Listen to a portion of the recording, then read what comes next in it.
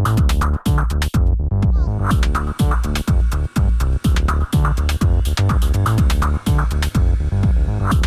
YouTube.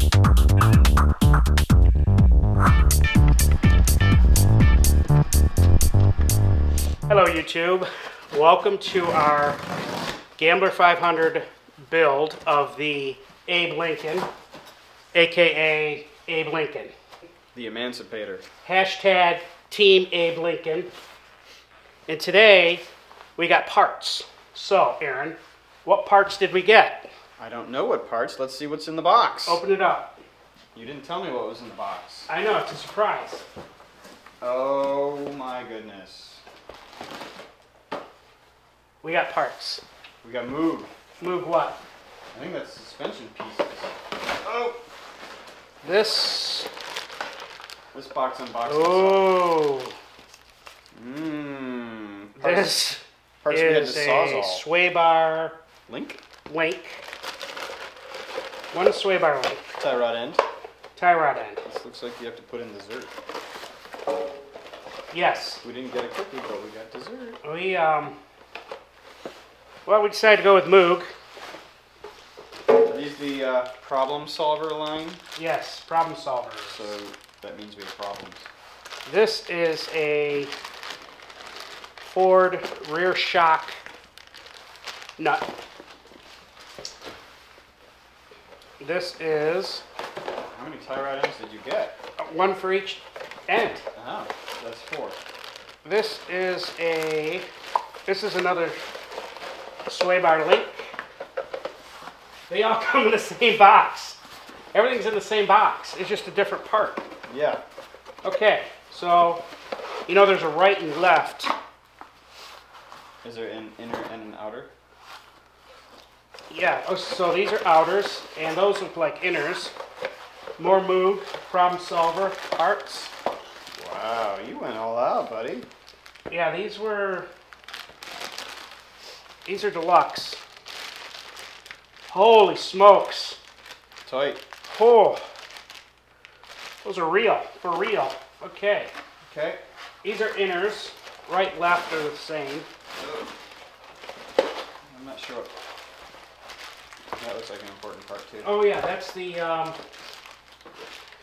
that's the rear shock nut. This actual motorcraft. Yeah, motorcraft. Big spender. Yes. Wow. And then did you get a pizza? Okay, we are not, That's okay, that's in a very important part. Okay. Because, you know why? I don't know why. So, Oh, it's all clear to me now. this is one of the, we cut one of these. Well, we cut. Yeah. Upper ball joint. Yeah. This is the problem solver. It's all in one. Upper ball joint and upper bushes. Because these bushes on the ones you have look like poo. Yeah, the 223,000 35. miles. 223. Something like that. So yeah, there's that. We got one for each side. And uh, bolts. New bolts. So it's just oh, new bolts. We can cut the old bolts if we. Cut. Yeah, Yeah, we, we need we to. cut a lot of stuff. Yeah. We are the Sawzall Kings. Okay, and then. Uh, So we got a right and a left there. That's it. Is that all? Is that all? Oh, box? what about the magnet? Oh. Are you sure? It uh, might have fell out. And uh, stuck to something? yeah, Oh. Yeah. Yeah. yeah. Oh. Might Have return it. might have fell out. That's okay. We'll just use this one. Dang. We'll find it. We'll find it.